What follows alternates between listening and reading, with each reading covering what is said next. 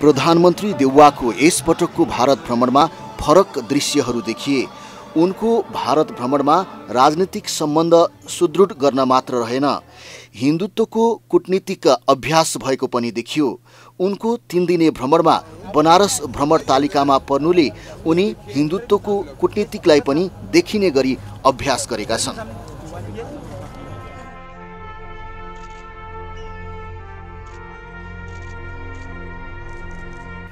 विश्वका हिन्दूहरूको आस्थाको केन्द्र बनारसमा उनको भ्रमण राजनीतिसँगै धार्मिक पनि हो। कट्टर हिन्दूवादी भाजपासँगको राजनीतिक सम्बन्धलाई मजबुत बनाउनेदेखि बनारस भ्रमणको तालिका प्रधानमन्त्री देउवाको रहेको छ।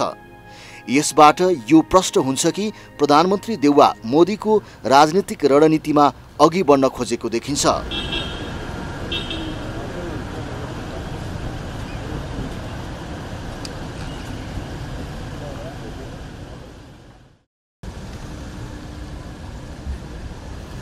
मोदी जस्तै हिन्दुत्वको कुटनीतिबाट हिन्दूहरूको भरोसाको नेता बन्न खोज्दैछन्। जसरी मोदीले भारतका हिन्दूहरूको भरोसामा दुई कार्यकाल सत्ता सम्हाले त्यसै गरी देउवा पनि यही पथमा बढ्न खोजेको देखिन्छ।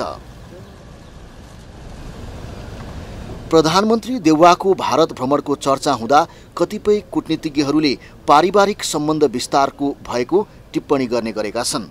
देउवाको भारत भ्रमणको तालिका र उनले जहाँ जहाँ जस्तो जस्तो सक्रियता देखाए ती दृष्टान्तले पनि कुटनीतिज्ञहरूको टिप्पणीलाई बल पुर्याएको देखिन्छ। प्रधानमन्त्री देउवा विश्वभरका हिन्दूहरूको आस्थाको केन्द्र बनारस पनि पुग्दैछन्। विश्वका करिब सवा अर्ब हिन्दूहरूको आस्थाको केन्द्र बनारस पुग्नुले उनको हिन्दुत्वको कुटनीति पनि देखिन्छ। तिन दिने भ्रमणको अन्तिम दिन बनारसको धार्मिक भ्रमण गर्ने बनारस भारतीय प्रधानमन्त्री नरेन्द्र मोदीको लोकसभा निर्वाचन क्षेत्र हो।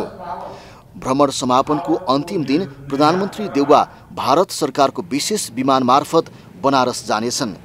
यसरी भ्रमणकै दौरानमा मोदीको चुनाव क्षेत्र र हिन्दूको आस्थाको केन्द्र बनारस पुगेर उनले देउवाले हिन्दूहरूको भरोसाको नेता देखाउन खोजेका छन्।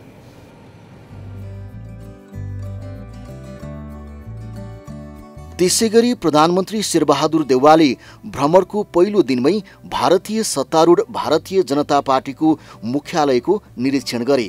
उनी भारतीय जनता पार्टीको मुख्यालय पुगेर भाजपा अध्यक्ष जेपी नाड्डासँग भेट गरे। यसरी सार्वभौम मुलुकको कार्यकारी प्रधानमन्त्री कुनै दल विशेषको पार्टी कार्यालय पुग्नुलाई कुटनीतिक तहमा शोभनीय त मानिँदैन। यद्यपि उनी प्रोटोकलको व्यवस्था गर्दै भारतीय जनता पार्टीसँग सम्बन्ध बलियो बनाउन अभ्यासरत रहेको देखिए। यति मात्रै होइन भाजपा कार्यालय पुगेका प्रधानमन्त्री देउवाले भारतीय कङ्ग्रेसका नेताहरूसँग भने भेटेनन्। यसबाट के प्रष्ट हुन्छ भने देउवा मोदी सत्तासँग सम्बन्ध अझै बलियो बनाउन चाहन्छन्। भाजपासँग निकटता बढाउनैकै लागि उनले जे जति सक्रियता देखाए त्यसैबाट थाहा हुन्छ कि उनी भारतीय जनता पार्टीसँगै सम्बन्ध बलियो बनाउने रणनीतिमा छन्। हिन्दुत्वको कुटनीतिक तुरुपबाट आफूलाई हिन्दूहरूको भरोसाको नेता बनाउन खोजिएको प्रष्ट बुझिन्छ।